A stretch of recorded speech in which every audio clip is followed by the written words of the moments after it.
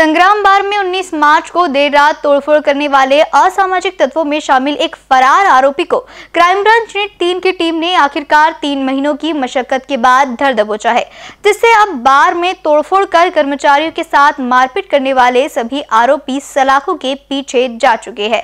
आपको बता दें कि इस मामले में पहले से ही 16 आरोपी गिरफ़्तार थे। गत उन्नीस मार्च को जगनाड़े चौक स्थित संग्राम बार में रविवार देर रात असामाजिक तत्वों ने आतंक मचाया था। संग्राम बार और परिसर में खड़ी दो कार समेत दस दुपहिया वाहनों में तोड़फोड़ कर कर्मचारियों के साथ इन लोगों ने मारपीट भी की थी। कोतवाली पुलिस के मुताबिक हमलावर आरोपी और बार के कुछ कर्मचारियों के बीच पिछले कुछ दिनों से विवाद जारी था, जिसके चलते उन्होंने यह उग्र रूप धारण कर लिया था। सभी आरोपी लाठी, डंडे और हथियारों के साथ बार में घुस पड़े थे और कर्मचारियों के साथ मारपीट की थी। इस दौरान स्टाफ को भी धमकाया गया था।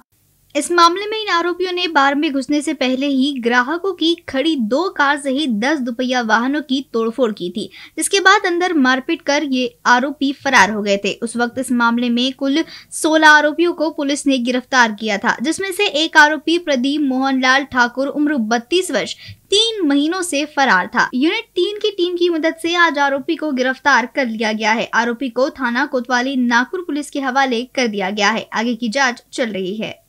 एकोणीस मार्चला जनगाडे चौक येथे संग्राम बारमध्ये तोडफोड आणि दरोड्याची घटना घडली होती. त्यामध्ये एकूण सतरा आरोपी होते.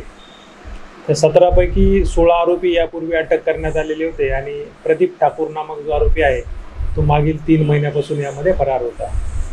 तर युनिट तीनच्या पथकाने प्रदीप ठाकूर हा गंगाबाई घाट येथे येणार असल्याबाबतची माहिती प्राप्त झाल्यानुसार तिथे सापळा रचून काल त्याला आम्ही त्यामध्ये अरेस्ट केलेला आहे. हा जो आरोपी आहे मुख्यतः याच्यावर बॉडी ऑफेन्सचे काही गुन्हे दाखल आहेत. पहिले जुगार ॲक्टचे काही गुन्हे दाखल आहेत आणि हा हार्डकोर क्रिमिनल आहे.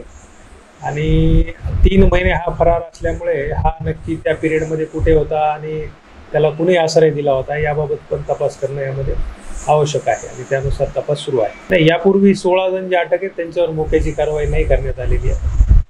त्या गुन्ह्याचा मला वाटतं आता दोषारोपपत्र पण दाखल झालेलं आहे. त्याच्यावर पुरवणी दोषारोपपत्र दाखल होईल.